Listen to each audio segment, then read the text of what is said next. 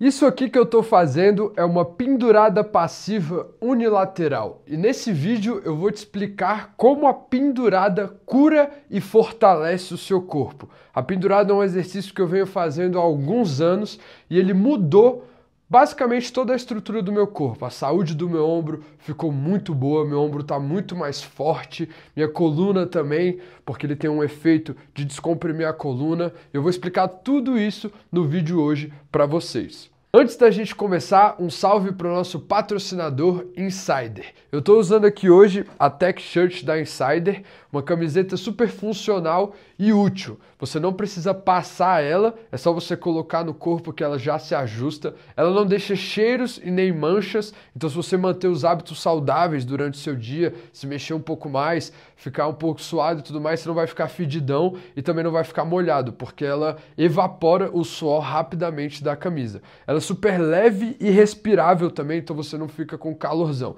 Enfim, tem várias funcionalidades essa camisa, ela é muito boa. Eu tenho usado bastante, principalmente para treinar. Tem também disponível no site a versão Seja Natural. Ainda tem alguns tamanhos lá disponível. Caso você tenha interesse, essa camiseta tá bem bonita. E eu estou usando aqui uma tech shirt, eu gosto da, do tamanho XGG, bem grandona e tudo mais, me sinto mais confortável com elas. Enfim, se você tiver interesse, cupom ZECA para ter 12% de desconto lá no site da Insider. Agora, bora falar da pendurada. A rotina de pendurada que eu faço, que eu vou ensinar aqui para vocês hoje, é composta por três movimentos. A primeira pendurada é a pendurada passiva, e é nela que já começa vários dos benefícios que tem a pendurada. Então, qual que é a pendurada passiva? Basicamente, você vai se segurar numa barra e vai deixar o seu corpo inteiro derreter e vai só fazer força na mão. A ideia aqui é que a gravidade realmente puxa o nosso corpo. No nosso dia a dia, a gente está sempre com uma pressão em cima da gente. A gravidade sempre está empurrando o nosso corpo para baixo. Quando a gente se pendura, essa força puxa a nossa perna. Então, ao invés de pressionar o nosso corpo para baixo, a gente se pendura e a força puxa a nossa perna. E isso faz com que a gente descomprime a nossa coluna. A nossa coluna vai descomprimindo, isso é extremamente saudável. Também descomprime um pouco o punho e vai descomprimindo tudo. E nessa descompressão, o ombro vai para o seu lugar natural. Pode ver aqui que quando eu me penduro, o ombro ele automaticamente vai indo para sua posição natural. Então, para muitas pessoas que querem fortalecer o ombro, ganhar um pouco mais de mobilidade de ombro, a pendurada é um ótimo exercício para isso. Tanto é que tem um cara que escreveu um livro sobre a pendurada e ele diz curar 99% das dores de ombro dos pacientes dele. Então é muito interessante, é um exercício muito interessante. E a pendurada passiva é a primeira. Nossa meta é só acumular tempo se segurando e deixando o corpo relaxado. É até bom que com o tempo você vai pegando essa sagacidade de sentir qual parte do seu corpo está mais tensionada, qual parte do seu corpo você consegue distensionar. E aí, versões da pendurada passiva. A primeira versão é você conseguir ficar um minuto aqui pendurado com o seu pé no chão. E aí, com o tempo, você vai liberando peso do seu pé e deixando mais peso na sua mão. Você vai ver que se você ficar aqui nessa posição que eu tô, se você ir tirando o peso do seu pé, você vai colocando mais peso na sua mão. E a sua primeira meta é ficar um minuto pendurado com o pé no chão, tentando se desafiar, tentando tirar o peso do pé e ir com o peso para as mãos. Essa versão é para quem não consegue ficar aí 10 a 15 segundos pendurado. Quem já consegue ficar 10 a 15 segundos pendurado, é melhor já fazer a pendurada sem o pé no chão e se segurar aqui o máximo que você conseguir. Se você já fez um minuto com o pé no chão, a sua meta é ficar um minuto e meio com o pé livre, sem o pé no chão, só pendurado aqui. Pou! E aí você vai lá, tentar o seu máximo e a meta é um minuto e meio. Depois disso, descansa um minuto a um minuto e meio também, 60 a 90 segundos, e a gente vai para a segunda pendurada, que é a pendurada ativa. A pendurada ativa é extremamente importante para a gente começar a ganhar força na escápula. A nossa escápula é o que liga o nosso braço com a nossa coluna, com o nosso tronco. Então, se você tem uma escápula inteligente e uma escápula forte, o seu corpo por completo fica mais inteligente, porque é a escápula que transmite toda a informação e energia do nosso braço para nossa coluna e vice-versa. Então, se você quiser transmitir energia da sua coluna para o seu braço, ela vai ter que passar pela escápula. Então, uma escápula inteligente é extremamente importante. E o exercício da pendurada ativa é ótimo para a gente começar a fortalecer a nossa escápula e deixar ela mais inteligente. Então, qual que é o exercício da pendurada ativa? Eu vou tirar a camisa aqui para vocês conseguirem enxergar um pouquinho melhor a minha escápula. Basicamente, eu vou estar aqui nessa mesma ideia de uma pendurada passiva e eu vou fazer uma intenção de depressão da minha escápula. Eu quero descer a minha escápula. E como eu vou estar pendurado, o meu corpo vai subir. E eu quero buscar uma linha reta. Realmente estou subindo para cima, não para trás. Existe também essa pendurada arqueada, mas a gente não vai falar sobre ela hoje. Ela é um pouquinho mais complexa, ela pega outros músculos também, mas nessa pendurada ativa a gente quer pensar isso, ir para cima e não para trás.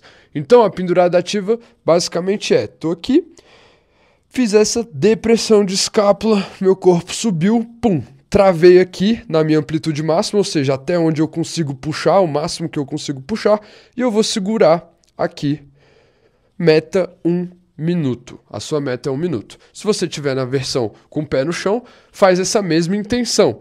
Estou aqui, vou puxar o máximo que eu consigo, meu pé está no chão e eu vou liberando o peso dos meus pés aos poucos. Outra coisa muito importante da pendurada ativa é realmente só usar a escápula. Então o braço ele fica 100% esticado. A gente não quer roubar dobrando o braço, porque aqui a gente já está usando outras musculaturas e a gente quer realmente focar na nossa escápula.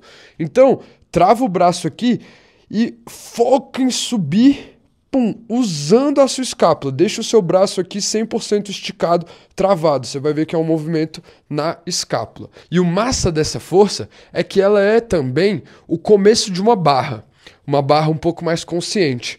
Quando a gente vai sair aqui, se a gente só puxar, maneiro, tá ganhando força também. Mas se a gente tiver mais consciência da nossa escápula, a gente fica ainda mais forte, principalmente a longo prazo. Então a barra, se a gente começar a barra pela escápula, que é onde começa o nosso braço, faz mais sentido e constrói um corpo mais forte por completo. Então eu tô aqui, por exemplo, ó, fiz uma barra, uma pendurada ativa e depois puxei a barra. E aí, ó, voltei para uma pendurada ativa. Então você vai segmentando para conseguir ficar até mais forte. E a pendurada ativa te prepara para isso. Meta 60 segundos. Então, só recapitulando, vai fazer a pendurada passiva, a sua versão, meta 1 um minuto e meio, vai descansar 60 a 90 segundos, 1 um minuto a 1 um minuto e meio, e vai fazer a ativa, meta 60 segundos, meta 1 um minuto. Fez a ativa, tentou ser um minuto. Se você conseguir ficar mais, vai para mais. Essa é só a sua primeira meta. Fez a ativa, descansou um minuto, um minuto e meio. Vamos para a terceira e última dessa rotina, que é a pendurada passiva ativa. Então, basicamente, a gente vai ficar aqui nessa posição, pum, e aí a gente vai subir, segurar dois segundos, um, dois, descer, segurar dois segundos, um, dois, sobe, um, dois, desce, um, dois. Eu não comentei no começo do vídeo, mas é óbvio também que a pendurada pega bastante antebraço. Então você também vai deixar seu antebraço forte. Isso é um pouco mais óbvio, né? Mas tem todos aqueles outros benefícios que eu falei também. Meta aqui da pendurada ativa passiva, também um minuto.